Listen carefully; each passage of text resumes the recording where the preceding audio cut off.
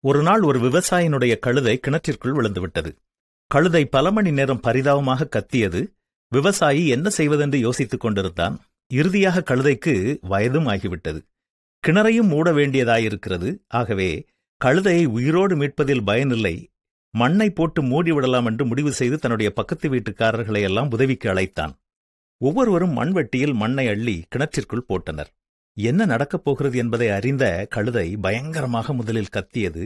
சற்று நேரத்தில் அனைவரும் ஆச்சரியப்படும் வண்ணம் அமைதலாக மாறிற்று.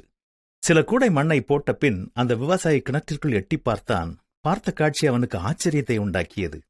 ஒவ்வொரு கூடை மண் கழுதையின் மீது விழும்போதும் அது ஒரு வினோதமான காரியம் செய்தது. அந்த மண்ணை கீழே உதறி தள்ளிவிட்டு அதன் மீது ஏறி ஒரு படி மேலே வந்துவிடும்.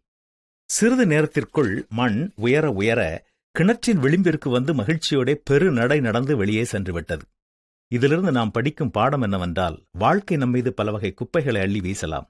அந்த கிணற்றிற்குள் இருந்து வெளியே வருவதற்கான யுக்தி என்னவென்றால் அதை உதறி தள்ளிவிட்டு ஒரு படி மேலே ஏறிவிட வேண்டும்.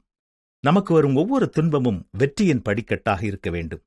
துன்பமாகிய ஆழமான கிணறுகளிலிருந்து வெளியே வருவதற்கு நமது செயல்களை நிறுத்திவிடவோ விட்டுவிடவோ செய்யாமல் துன்பங்களை உதறி தள்ளிவிட்டு ஒவ்வொரு படியாக மேலே ஏறிவிட வேண்டும்.